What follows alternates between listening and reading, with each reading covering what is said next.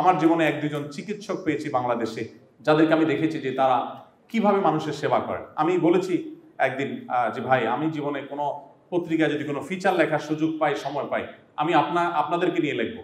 এর মধ্যে ঢাকাতে একজন, যশোরে একজন, দুই জায়গায় দুজন ডাক্তার আমি রেখেছি।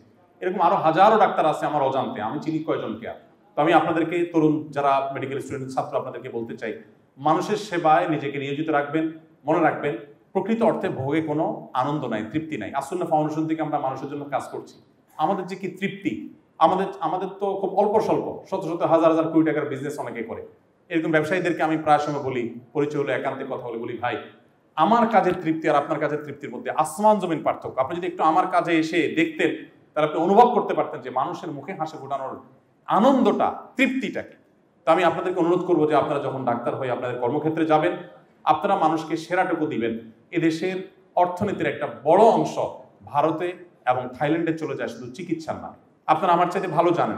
আমি বাইরের একজন ডাক্তারকে একবার দেখেছি। আমি অবাক হয়েছি যে তিনি আমার প্রেসক্রিপশন লিখছেন এবং আমার কি করতে হবে এটা লিখছেন। আমার দিকে ফিরানো ইয়েটা, প্রেসক্রিপশনটা। উনি ওই দিক থেকে ইংরেজিতে লিখছেন। আমার ওয়াইফ সাথে ছিল। আমি বললাম যে এটা তো নতুন জিনিস দেখলাম।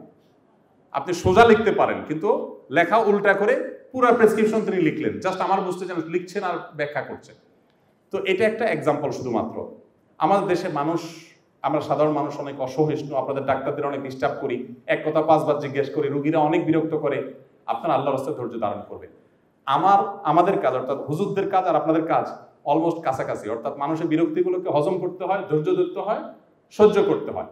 আমাদেরকে মানুষ এত বিরক্ত করে সেলিব্রিটি হলে যেটা হয় মক্কা একবার ওমরা সফরে গেছি, এক লোক বলে, হুজুর, একটা ছবি তুলবো।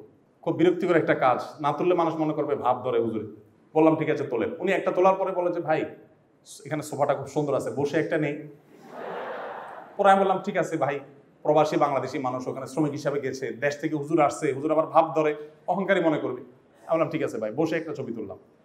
এরপর দেখলাম তার অতৃপ্তি আছে, সে আরও খুঁজতেছে, কি করা যায়? তো আমি তাকে বললাম, এক কাজ করেন, হোটেলে চলেন, আমরা দুই বেড়ে দুজন শুয়ে একটা ছবি তুলি।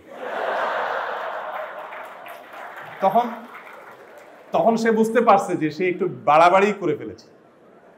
আপনারা যারা ডাক্তার, আপনাদেরকে রোগীরা এরকম নানাভাবে একই জিনিস বারবার বলবে, বিরক্ত করবে। আপনি বলবেন যে ইয়ে রাতে ভাত খাওয়া যাবে, রাতে রুটি খাইতে হবে।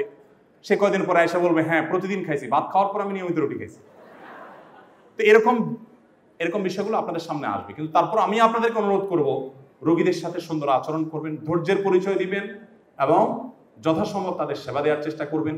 মনে রাখবেন, আমি প্রায় সময় বলি আদ্দিন মেডিকেল কলেজের ডাক্তারদের এবং ছাত্রদের সামনে কথা বলতে গিয়ে আমি বলেছিলাম, আমার জীবনে আপনাদের দেখে ঈর্ষা হয় যে আমি যদি একটু চিকিৎসা হতে পারতাম, কারণ মানুষের কষ্টের সময় আপনাদের কাছে আসে। ইঞ্জিনিয়ারদের কাছে মানুষ সুখের সময় যায়।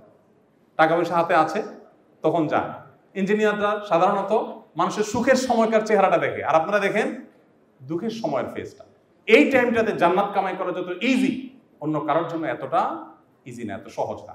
আমি আশা করব যে আপনারা আপনাদের পেশাদারিত্ব সর্বোচ্চ বজায় রাখবেন।